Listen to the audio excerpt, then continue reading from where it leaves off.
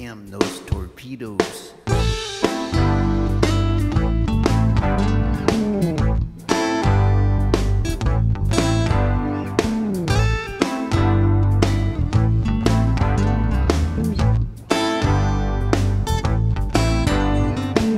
It's a